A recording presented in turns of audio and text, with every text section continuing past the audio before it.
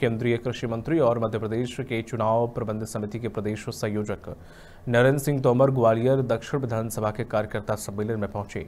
उन्होंने कार्यकर्ताओं को संबोधित करके बीजेपी की उपलब्धियों को बताया। उन्होंने कहा कि प्रधानमंत्री नरेंद्र मोदी और मुख्यमंत्री शिवराज सिंह चौहान के नेतृत्व में डबल इंजन की सरकार ने प्रदेश का चौमुखी विकास किया है। भाजपा के शासनकाल में हर वर्ग की चिंता की गई है।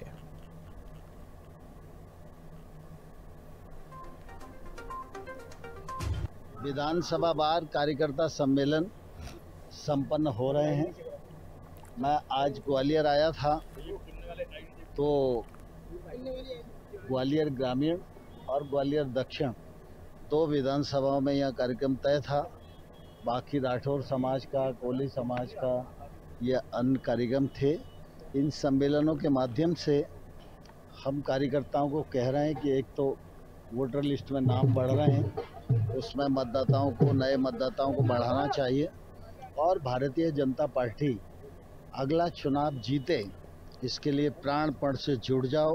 पूरब विधानसभा का हो गया ग्वालियर का हो गया मध्य प्रदेश में 230 तीस विधानसभा हैं। इसमें डेढ़ सौ से ऊपर विधानसभाओं के सम्मेलन मध्य प्रदेश में संपन्न हो गई नहीं जब से चुनाव अभियान समिति के नरेंद्र तब की बात है। नहीं नहीं पूरे मध्य प्रदेश को देखें ना 230 विधानसभा है मध्य प्रदेश में। और माननीय नरेंद्र सिंह जी भी और अन्य विधानसभाओं के सम्मेलन में भी शिरकत कर चुके हैं। उसी क्रम में नहीं नहीं कार्यकर्ता सम्मेलन भाजपा कई तरह के कार्यक्रम आयोजन करती है वर्ष पूरे पाँच साल में। ये कोई पहला कार्यक्रम नहीं है।